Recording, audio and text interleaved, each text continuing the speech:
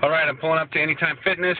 It is uh, day two of my challenge. I'm starting today with Reggie, my personal trainer, and also one of my team members, who's going to uh, work my rear end out and uh, get me on the right track. Um, you know, I posted my picture yesterday, and I had a good friend uh, who I believe is over in Germany, uh, Adelaide, that uh, questioned, said, you know, you've been on a lot of these challenges, but is it working? I tell you what, here's the deal.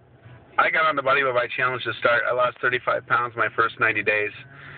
I lost another 15 uh, my second 90 days, as well as lost more fat, but put on some muscle during that time. Over the last year, I've been traveling a lot. I've been on the road a lot. I have went up and down, up and down in this challenge. I've restarted it probably four times. No, I have not gotten to my goal. No, I'm not very proud of myself, but I'll tell you what, this 90 days is going to be different. This 90 days, I will hit my goal. My goal is to break 246 pounds, which is the lowest I've been in my adult life.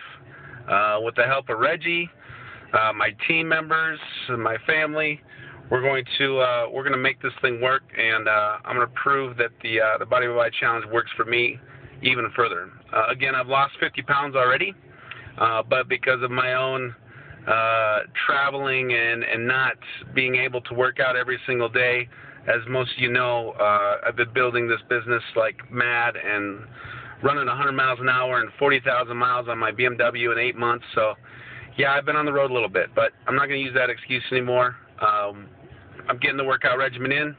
We're going to do this the right way, and we're going to make it happen. So, stay tuned, guys. This is day two. Uh, I may even throw up a little video when I'm done so you can see uh, what I look like after I just threw up. Take care.